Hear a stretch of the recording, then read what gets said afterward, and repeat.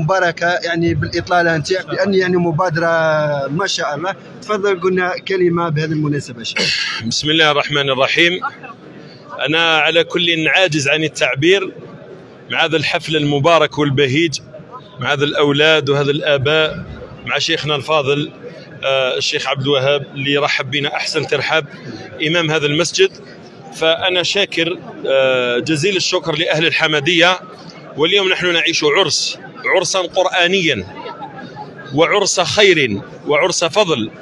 فهذه المبادرة إن شاء الله راهي متواصلة مع هيئة الإقراء تاع برج